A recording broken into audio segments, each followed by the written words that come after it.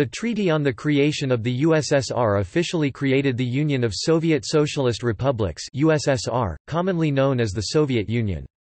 It de jure legalized a union of several Soviet republics that had existed since 1919 and created a new centralized federal government Congress of Soviets of the Soviet Union and Central Executive Committee of the Soviet Union were the legislative while Council of People's Commissars was the executive where key functions were centralized in Moscow.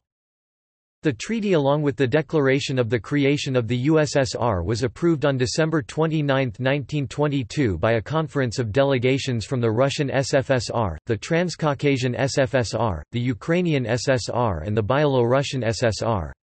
The treaty and the declaration were confirmed by the First Congress of Soviets of the USSR and signed by heads of delegations, Mikhail Kalinin, Mikhail Tskhakaya, Mikhail Frunze and Grigory Petrovsky, Alexander Chervyakov respectively on December 30, 1922. The treaty provided flexibility to admit new members. Therefore, by 1940 the Soviet Union grew from the founding four republics to 15 republics. On 8 December 1991 Russian, Ukrainian and Belarusian presidents signed the Belavezha Accords. The agreement declared dissolution of the USSR by its founder states denunciation of the Treaty on the Creation of the USSR and established the CIS. On 10 December, the accord was ratified by the Ukrainian and Belarusian parliaments. On 12 December, the agreement was ratified by the Russian parliament, therefore the Russian SFSR renounced the treaty on the creation of the USSR and de facto declared Russia's independence from the USSR. On 26 December 1991, the USSR was self-dissolved by the Council of the Republics of the Supreme Soviet of the Soviet Union, the first house of Soviet legislature the second house, the Soviet of the Union, was without a quorum. Causes of the treaty The treaty was a result of many internal political conflicts within the Bolshevik Party and governments inside the Union. Initially Vladimir Lenin did not see that Russia's October Revolution would end all foreign borders as such. This view was supported by Leon Trotsky and his followers, who believed that Russia was only a first step in a future world revolution. However, as the Red Army approached former internal national and foreign borders, it needed an excuse to cross them. One such method was a creation of an alternative government, a Soviet republic, that would then take over authority as the Red Army ousted the existing government. This was the case with Ukraine, Georgia, Armenia and Azerbaijan and failed campaigns such as in the Baltic states and Poland. Alternatively it would use the presence of a minority to undermine the standing army such as the establishment Tatar and Bashkir autonomies, and where there was no national minority, a government based on geographical locale, Far Eastern Republic, Turkestan. However, the Red Army's ultimate failure in the Polish campaign placed Trotsky's World Revolution plans on hold. Simultaneously the growing figure of Joseph Stalin pursued a different agenda. Lenin himself saw the creation of national republics as a permanent feature in line with his Korenizatsiya policies. In spring of 1922, Lenin suffered his first stroke, and Stalin, still being a People's Commissar for Nationalities gained a new official chair as the General Secretary of the Communist Party. Stalin argued that now that the Russian Civil War had concluded and that war communism was now replaced by the new economic policy, it required a country whose legal de jure framework would match its de facto one, and reorganizing the Bolshevik state into a single sovereign entity. This included liquidating the many splinter Soviet governments and restoring supreme rule to Moscow. This line went directly in conflict with both proponents of Korenizatsiya and some of the local governments, most notably in Ukraine opposition of Christian Rakovsky and Georgia Georgian affair. Thus the treaty can be viewed as a compromise between the different groups within the Bolshevik camp, to satisfy the aspirations of large minorities the named examples of Georgia and Ukraine and to allow for potential expansion, as well. Byelorussia was the smallest republic, yet its official languages included Polish and Yiddish in addition to Russian and Belarusian to undermine the authority of the neighboring Second Polish Republic and to use its sizable Jewish minority, as well as the Belarusians and Ukrainians in Poland as a future fifth column. At the same time, it created a new centralized federal government where key functions would clearly be in the hands of Moscow. List of preceding treaties The 30th of September 1920, Military and Economical Union Treaty, Russian SFSR and Azerbaijan SSR. The 28th of December 1920, Workers' Peasant Union Treaty, Russian SFSR and Ukrainian SSR. The 16th of January 1921, Workers' Peasant Union Treaty, Russian SFSR and Belarusian SSR. Topic: Content The original document included a cover sheet, the declaration, the treaty containing the preface and 26 articles and the signatures of the delegations that signed it. In the cover sheet, the title Union of Soviet Socialist Republics was typed in Russian, French, English and German, as well as the actual words Treaty on the Formation of the Union of Soviet Socialist Republics also in those four languages. It contained the original state emblem of the Soviet Union. The declaration was written as a reflection on contemporary international relations and why the treaty was necessary.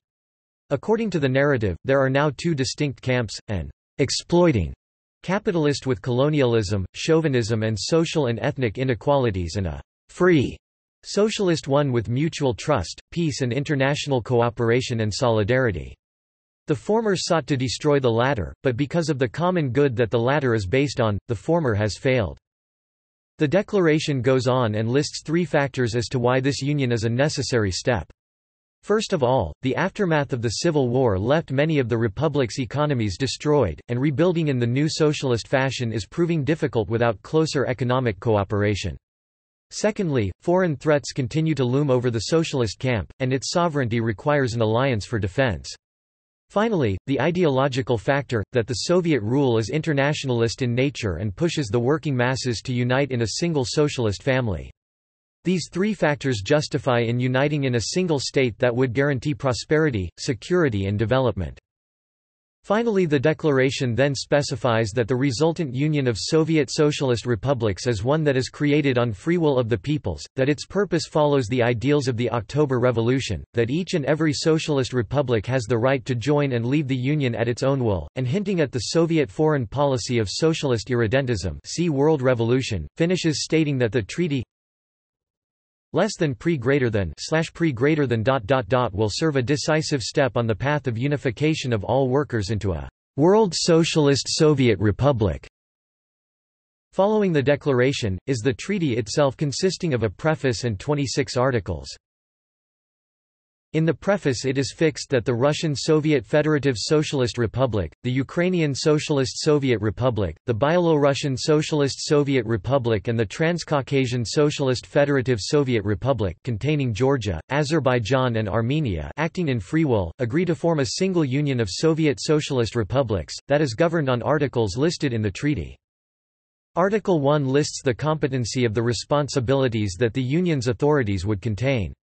These include all foreign affairs, international treaties, change in external borders, expansion of the Union by accepting new republics, declaring war and agreeing to peace, foreign and domestic trade, authority over economic development, creating a single postal and transport services, the armed forces, internal migration, creation of single judiciary, education and healthcare services as well as unifying all units of measurement. All of the above would be thus explicitly controlled directly by the Union's authority. Moreover, the final clause explicitly listed, that the Union's authorities could now overturn acts of all republics' authorities be it Congresses of Soviets, Soviets of People's Commissars or Central Executive Committees that were deemed in violation with regard to this treaty. Articles 2 to 10 determined the structure of supreme authorities of the Union. The legislative authority, according to the treaty, was the Congress of Soviets of the Soviet Union and between the Congresses, this was to be carried out by the Central Executive Committee of the Soviet Union -2. The delegates to the Congress are to be elected by local Soviets represented by one elected representative from 25,000 voters in urban areas and one per 125,000 voters in rural areas 3. The Congress delegates would be elected by local gubernia Soviets, rather than Republican ones 4. The Congresses would be held annually or may be summoned by requests of at least two republics or the Union's TSIK 5. The TSIK would be the main body to carry out executive functions between the Congresses. This TSIK was a 371-person body, whose members were proportionally represented to the population of the Union, and elected by the Congress 6. The Union TSIK would meet four times per annum on a regular basis, whilst irregular sessions can be summoned on demand by the Union government the Council of People's Commissars or by one of the constituent republics 7. The Congress and the TSIK would be held in the capitals of the Union republics in the order that would be decided by 6 Presidium 8. The latter was to be appointed by TSIK, that would be the supreme power organ between its sessions 9. This presidium would consist of 19 members, with four chairmen, each representing the four republics 10. The presidium also had the authority to summon an irregular session of TSIK. Article 11 appointed the executive authority, the Council of People's Commissars SNK. The council's members were appointed by TSIK, and included ten portfolios commissariats as well as a chairman and his deputies. Article 12 specified the functions of the Supreme Court of the Soviet Union under control of TSIK and the Secret Police, the OGPU under control of the SNK, and the OGPU chairman was to be a participant of the SNK with advisory vote. The creation of these two bodies was justified as measures to overcome criminal and counter-revolutionary elements in that very article. Articles 13 to 17 specified the framework on the legal proceedings between the Union's supreme bodies, the TSIK and the SNK, and those of each republic. All of the decrees by Union's SNK were effective in every republic 13. Also confirmed, was the multilingual aspect of the Union, specifying that all of the Union's decrees are to printed in the official language of each constituent republic Russian, Ukrainian, Belarusian, Georgian, Armenian and Turkic i.e. Azerbaijani 14. It was specified that the Union's SNK resolution may only be overruled by the Union's TSIK or its Presidium 16, and if a Republican TSIK chooses to protest the resolution or a decree of the Union's TSIK, the protest itself does not halt the implementation of the document 15. The latter is only possible if there are obvious violations with existing laws, and in such cases, the Republic must immediately notify the Union's SNK and the relevant commissariat 17. Article 18 listed the authorities that would be retained by the republics and specified their respective councils of people's commissars, each to have a chairman, his deputies, 11 portfolios and representatives with advisory votes of several union-level commissariats, in particular foreign affairs, defense, foreign trade, transport and logistics.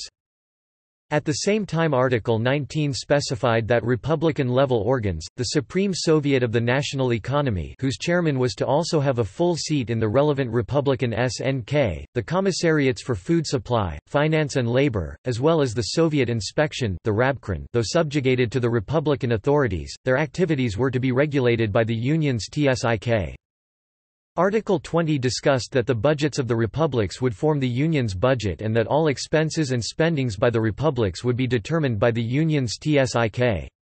Moreover, the latter would also determine the share of profits, if any, that each republic would receive. Articles 21–23 created a single Soviet citizenship 21, state symbolism flag, national anthem and a coat of arms 22, and specified the Union's capital in Moscow 23. Article 24 demanded that the republics amended their constitutions with regard to the treaty. Article 25 specified that any amendments, additions or changes to the treaty may be done only by the Union's Congress of Soviets. Article 26 affirmed the clause in the declaration where each republic has the right to leave the Union. Immediate aftermath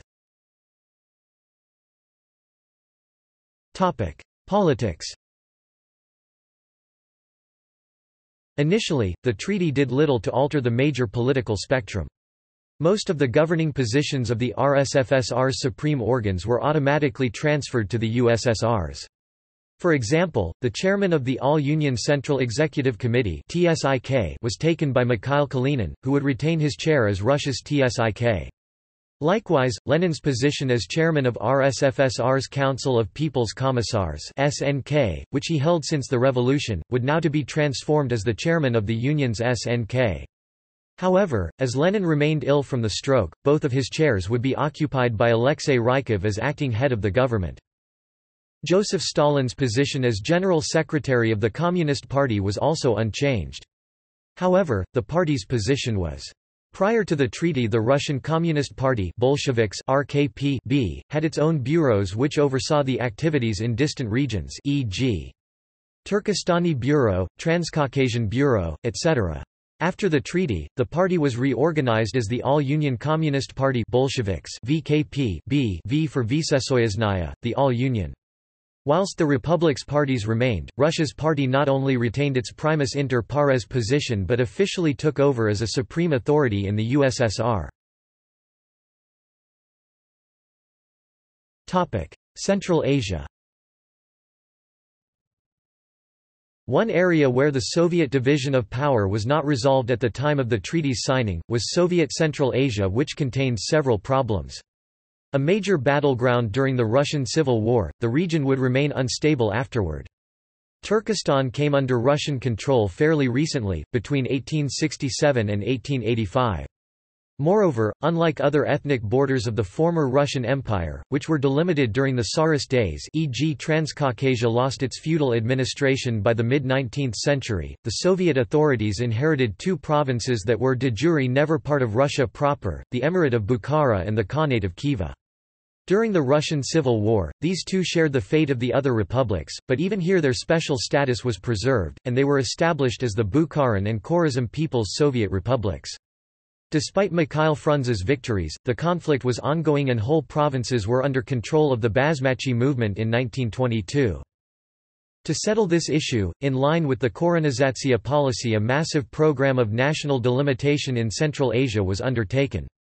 On October 27, 1924, TSIK issued a decree where the former Bukharan, Khivan People's Republics as well as the RSFSR's Turkestan were reorganized as the Uzbek SSR and the Turkmen SSR, both of whom became full Union republics on 13 May 1925.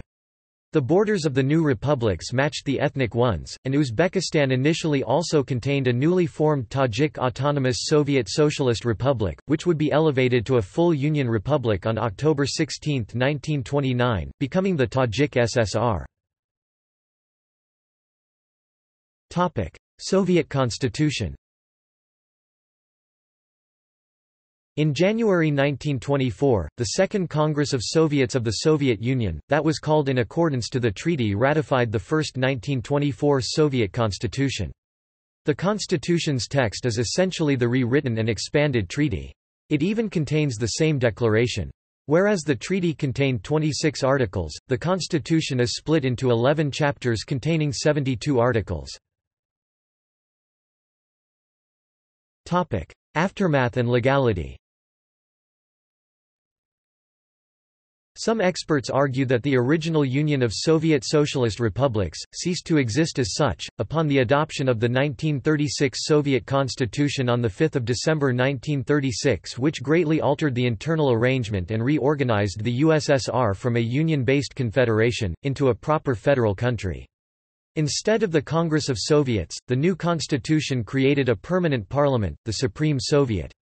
It also tied together most of the authorities and most significantly affirmed the role of the Communist Party as the driving force behind the USSR's working masses. With regard to the original treaty, the adoption of the constitution reorganized the makeup of the Union. The Transcaucasian SFSR ceased to exist and the three republics that made it up were fully admitted to the Union. Simultaneously two of RSFSR's autonomies, the Kazakh and the Kyrgyz ASSRs were reorganized as full republics. Therefore, the seven became the eleven. The Transcaucasian SFSR existed until December 5, 1936, when it was broken into Armenian, Georgian and Azerbaijani SSRs. The same day Turkestan Autonomous Soviet Socialist Republic of the RSFSR ceased to exist, and its territory was divided between the new Kazakh and Kyrgyz SSRs. 1940 In a prelude to World War II, several new republics were created prior to the German invasion of USSR in 1941. The first was the Karelo-Finnish SSR, which on 31 March 1940 was elevated to a Union Republic from the Karelian ASSR, previously part of the RSFSR. After the annexation of Baltic states, Lithuania, Latvia and Estonia were transformed into the Lithuanian SSR July 13, Latvian SSR July 21, and Estonian SSR also July 21, and were formally adjoined to the Soviet Union on 3, 5 and 6 August respectively.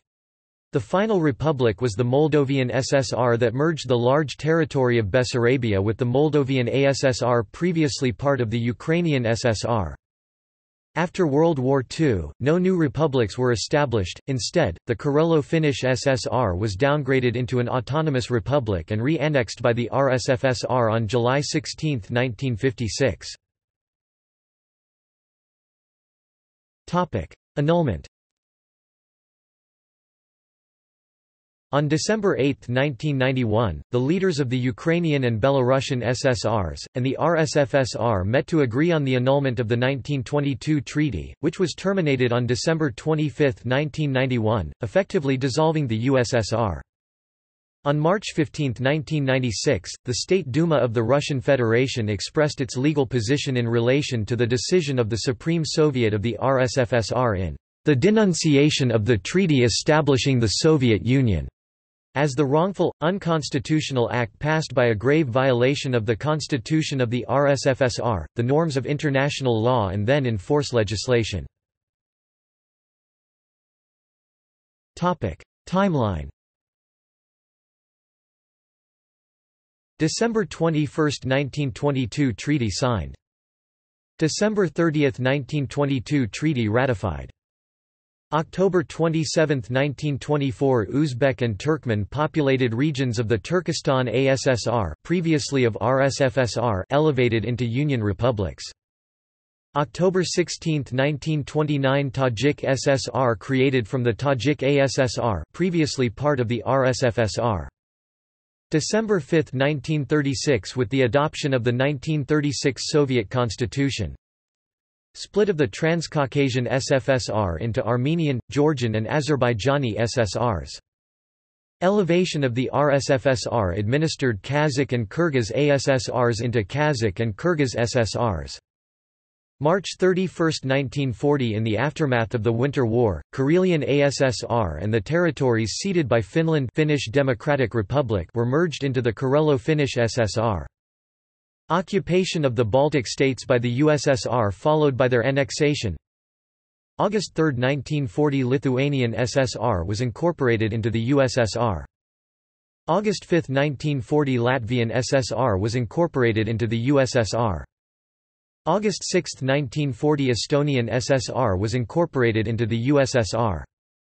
August 24, 1940 Moldavian SSR created from the Ukrainian-administered Moldavian ASSR and annexed Romanian territory of Bessarabia. July 16, 1956 Karelo-Finnish SSR downgraded into an autonomous republic and re-annexed by RSFSR. August 24, 1991 Declaration of Independence of Ukraine December 8, 1991 Treaty termination agreed by three of the four founding republics.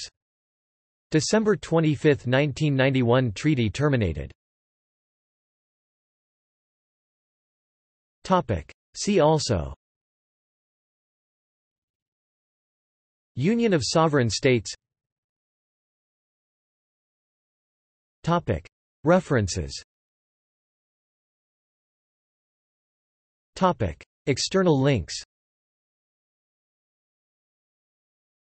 Original scan